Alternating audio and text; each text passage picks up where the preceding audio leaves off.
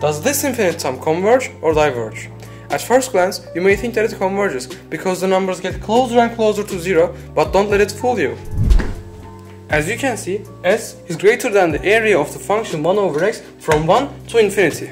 So now we're going to say that s is greater than the area and we're going to represent this area with an integral. Integral of 1 over x from 1 to infinity.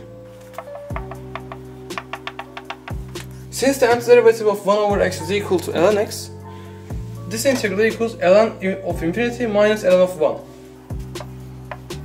ln of infinity is equal to infinity, so our integral is equal to infinity.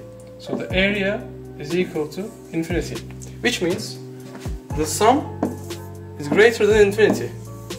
A finite number can't be greater than infinity, which means S does indeed diverge.